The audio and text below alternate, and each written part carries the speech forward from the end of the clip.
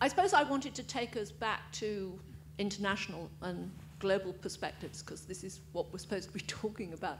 Um, uh, but to pick up earlier issues on Quakers and also Catholics, uh, I think one of the ways that the Quakers on both sides of the Atlantic fit very much into this conference is, of course, the growing abolitionist movement, uh, the absolute collaboration, uh, not just between Britain and the United States, but that's a very, very strong element, but also the growing peace movement.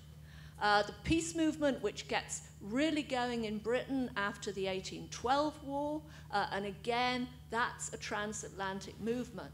And I suppose you might want to connect the growing peace movement perhaps with the residual shock of these two Protestant peoples, uh, which had been one, fighting so bloodily.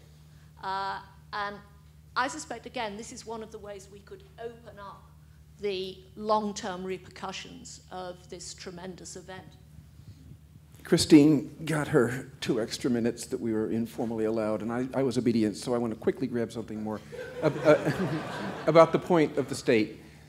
It comes out of what we've just been saying about religion that the evangelical tsunami of the 1790s and onwards is in part about control and definition of public power not in the formal sense that this will be a formally Protestant country, but in the sense who's going to be in charge and with what purposes. And I think that extends to the larger point that I was trying to make.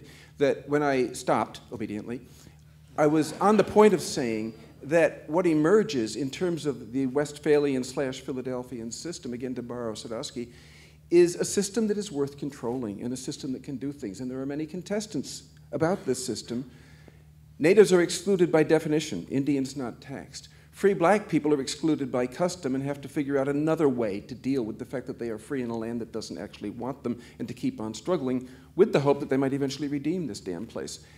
Evangelical Protestants want to redeem the country from the, um, the Federalist secular project of the 1780s and 1790s. But behind all of it, there is a power which can do things a power which can rapidly take control of the landscape from sea to shining sea, redefine that landscape, redefine some people in and some people out. What I was trying to get at is that this problem of these four intersecting themes is not just peculiar to the United States, that it is a situation that's going to have variance all the way down to Tierra del Fuego. There's the international dimension. And if I'd had been quicker of mind, I would have grabbed the point at the first place, but you were quicker than I was.